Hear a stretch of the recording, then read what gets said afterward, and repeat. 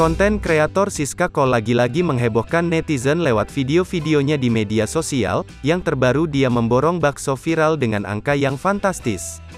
Lewat komentar di unggahan video TikToknya, seketika warganet langsung menjerit karena tak sanggup membayangkan level kesultanannya Siska.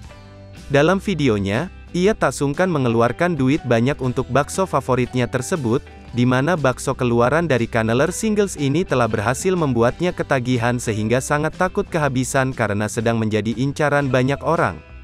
Hari ini kesibukanku menyusun Kaneler Singles bakso yang aku pesan seharga 30 juta dari pabriknya karena aku pengen banget makan bakso dari Kaneler Singles, ucap Siska di unggahan videonya.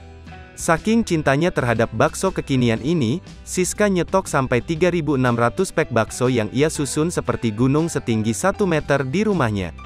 Alhasil ulahnya Siska ini membuat banyak orang terheran-heran.